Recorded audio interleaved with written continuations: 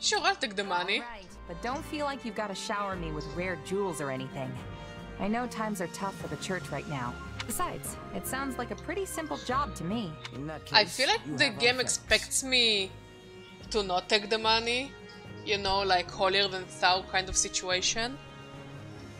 But no, fuck it. I'll take the church's money. I don't care. Afraid I can't be away for long, though.